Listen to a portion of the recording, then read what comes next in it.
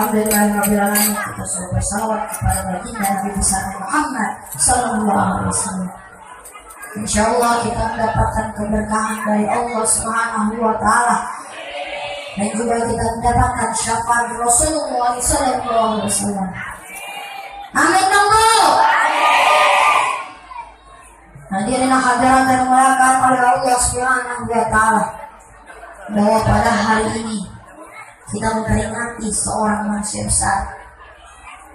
Tidak ada satupun manusia yang belum lahir tapi namanya sudah disebut-sebut. Bahkan sebelum menciptakan yang langit dan bumi beserta isinya, nama beliau sudah tertulis, sudah terpampang, sudah tercatat di arsy Allah Subhanahu wa taala. Beliau adalah baginda Nabi besar Nabi Muhammad sallallahu alaihi wasallam. Hadirin hadirat yang dimuliakan oleh Allah Subhanahu wa taala bahwa kelahiran Nabi Agung ini sangat luar biasa. Perlu kita ketahui detik-detiknya kelahiran baginda dan besar Muhammad SAW. Dari satu Rabiul Awal sampai 12 Rabiul Awal. Bahwa malam pertama Ibunda Siti Aminah mendapatkan anugerah besar dari Allah Subhanahu wa taala. Anugerahnya yaitu adalah kesejukan hati, ketentraman hati yang belum pernah dirasakan sebelumnya. Lalu banyak suara yang memandangkan, wahai Aminah radhiyallahu bahwa sedikit lagi engkau akan melahirkan Nabi Agung, Nabi besar kekasih Allah, yaitu Nabi besar Nabi Muhammad Sallallahu yang akan terus memuji Allah, yang akan terus bersyukur kepada Allah. Lalu Ibunda Siti Aminah melihat melihat bintang-bintang di langit menerangi cahaya menerangi rumahnya Ibunda Siti Aminah. Ibunda Siti Aminah bermimpi bertemu dengan Nabi Ibrahim alaihissalam.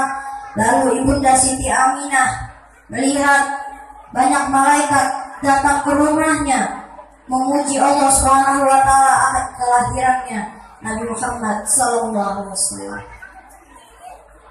Jadi Nabi Muhammad sallallahu alaihi wasallam adalah nabi yang paling mulia, paling paling istimewa bagi saya mah. Ya Bu ya. Bu. Pada lemes Bu. Gak lemes Bu. Ya daripada lemes mendingan kita sholat lagi. Ya. Salatullah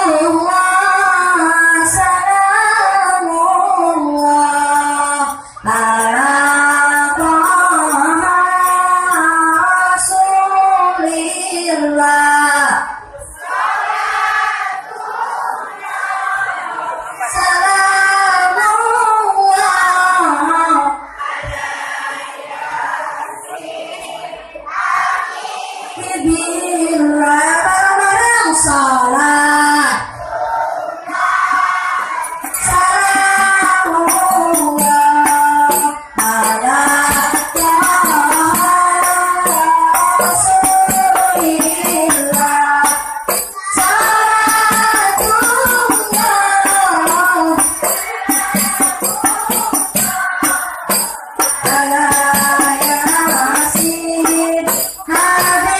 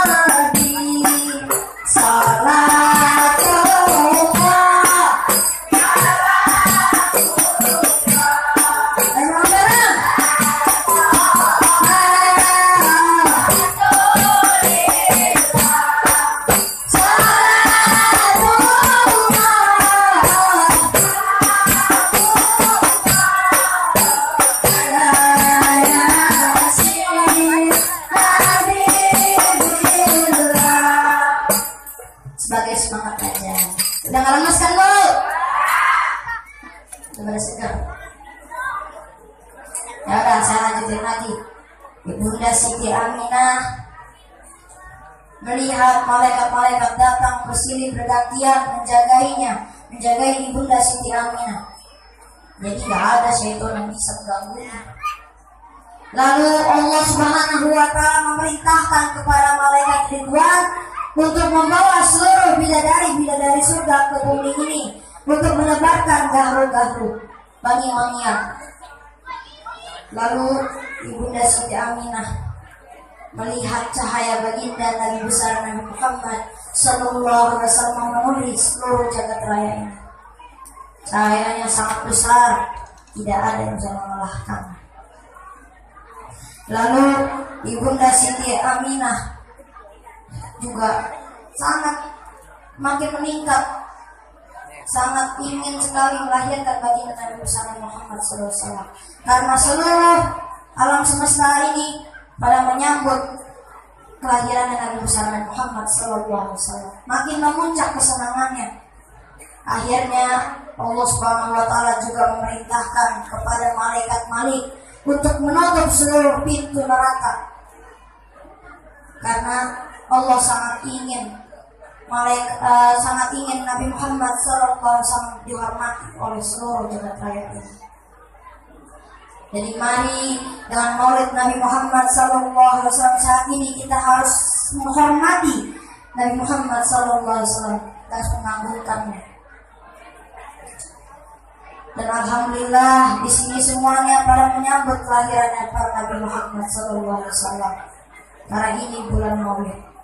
Jadi karena ini bulan Maulid, mari kita terus bersolawat, mari kita terus memuji Allah, mari kita terus berzikir, jadi mari kita meningkatkan ibadah kita untuk mengaji kita juga. Yang penting yang itulah satu. Jadi insya Allah kalau misalnya kita melakukan itu semua kita mendapatkan syafaat Rasulullah dan juga kita mendapatkan keberkahan dari Allah Subhanahu wa taala. Dan Nabi Muhammad sallallahu alaihi wasallam adalah penutup para nabi dan rasul yang jumlahnya kurang lebih 124 ribu nabi 313 rasul atau 315 rasul. Nabi Muhammad Sallallahu Alaihi Wasallam adalah nabi mempunyai mukjizat yang paling banyak di antara para nabi dan rasul.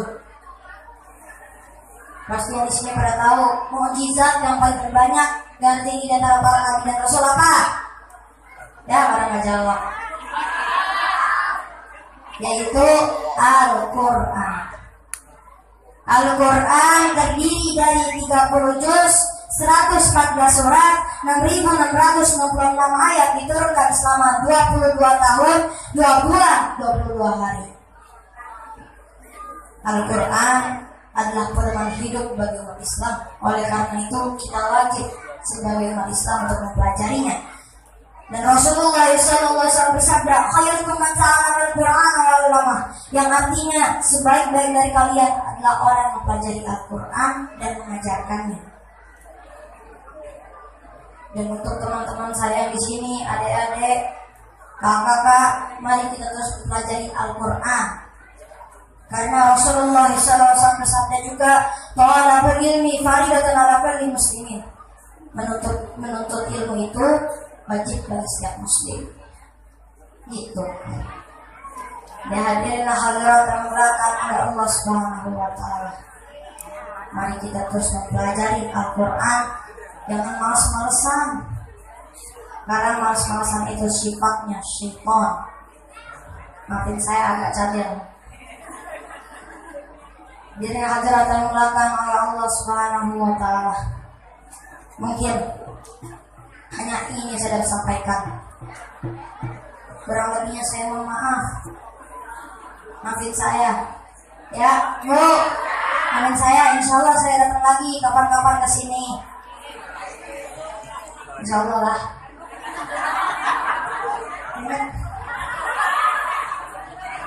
Uh, jadi saya sampaikan kurang lebihnya saya mohon maaf kalau ada jarum yang patah jangan sering lagi kalau ada kata-kata saya yang salah jangan sering nama sekali lagi saya minta maaf ibu-ibu semuanya. Eh, kalau misalnya saya nah, uh, selawat lagi nggak tahu Setan setansor namanya sekali lagi dah maaf dah. يا عاشق المصطفى أبشر من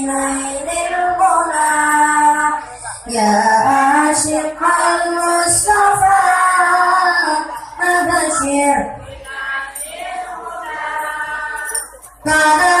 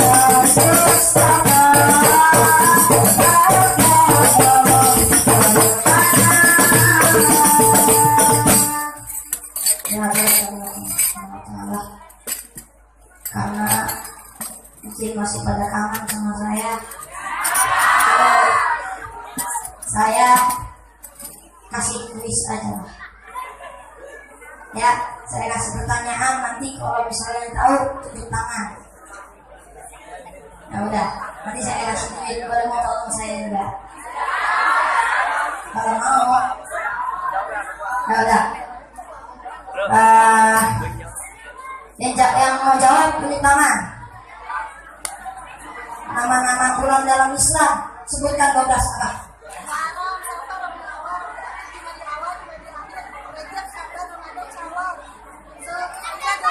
Nah ya, maju.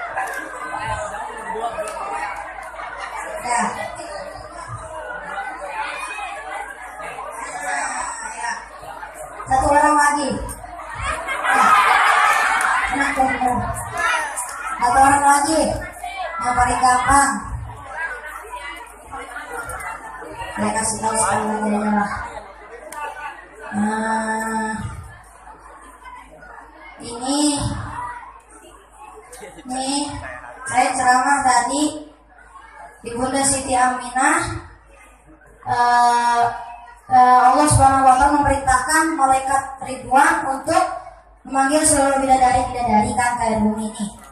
Nah, membawa apa?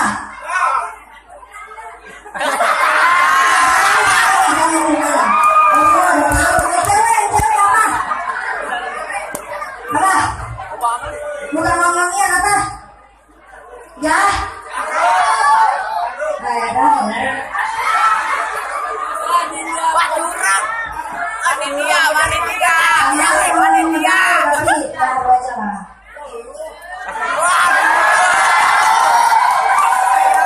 Buaya datang. Buaya, buaya.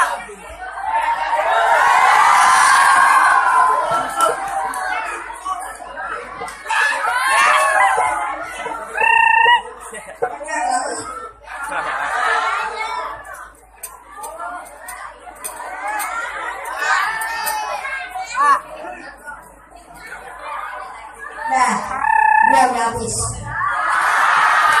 Sekali lagi nih. Tapi udah nggak punya duit. Udah dah, nggak usah pakai duit. Maju aja ke depan, minta foto boleh. Eh, nggak jadi deh. Maju, nggak maju ke depan, duduk aja di sini. Saya pulang. Ya dah, dah, dah, dah. Sekali lagi. Tunjuk tangan. Sekarang bukan depan lagi, buat yang cewek. Buat perempuan. Nabi Nabi siapa yang ditinggal wafat di dalam kandungan? Itu nggak mau ya? Nah itu anak kecil nggak ada gitu. Anak kecil gitu. Yang ini apa? Ini ya. Gampang dah tuh. Maju, maju.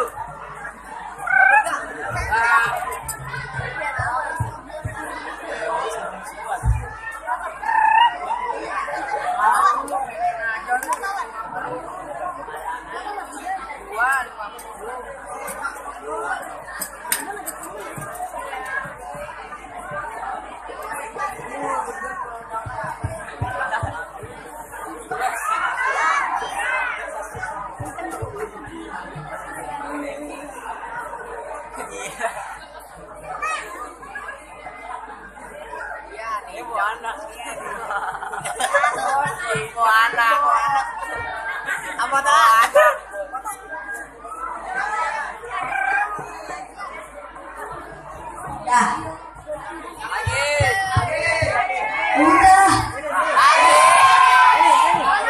Lagi. Kebanyakan. Ini berapa orang nih semua? Kalau satu capek. Kalau enggak ini aja, kapan-kapan boleh datang lagi sini. Bisa datang lagi sini. Ya, ya sebuah saya minta foto. Mungkin hari ini dan dulu. Soalnya saya masih Oh juara dulu, juara dulu nih katanya nih. Aduh, enak banget. Oh ya, Eh, juara azan sini azan azan. Yang azan semua mana nih azan azan? Yang azan mana yang azan? Azan, yang maju.